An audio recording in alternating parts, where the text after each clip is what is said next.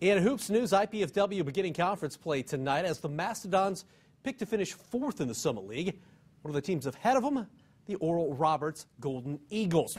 To the Coliseum we go. Jon Coffman's team up by two at the break. Second half, D'Angelo Stewart, the JUCO transfer, burying three of his 15.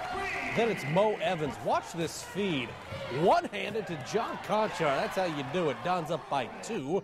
More IPFW, and the fans would be happy about this. It's the big guy, Brent Calhoun, slamming one down for the Dons. Later, Calhoun kicking it to Evans.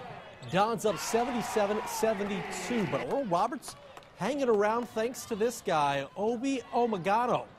Three of his 38 points, but it's not enough.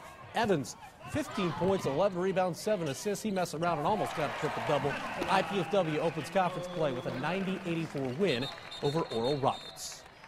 Oh yeah, it feels good. I mean, it lets everybody, it lets our teammates know that I mean, we can play with anybody, especially in the conference. I mean, it lets everybody else in the conference know that's watching us that I mean, you got to come ready to play when you play us. To make a statement in the league against Oral Roberts, who uh, is a, is a very very good team. Um, and, and there's not going to be an easy game this year in our league. It's going to be an absolute war.